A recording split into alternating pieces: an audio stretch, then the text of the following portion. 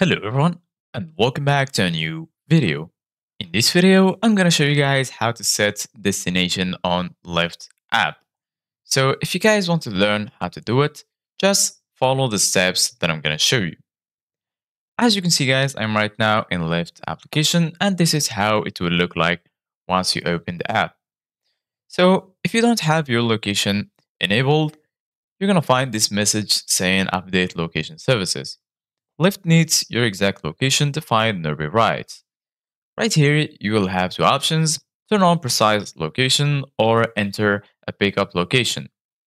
So I'm gonna click enter a pickup location and as you can see guys right here, we have two options. Uh, you need to fill the start with your start destination. For example, I'm gonna choose Los Angeles Airport just wait for the results. They're going to be right here in this list.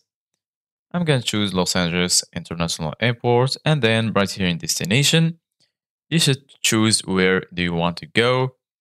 For example, I'm going to choose this address and then you should choose uh, which place in the airport, set pickup.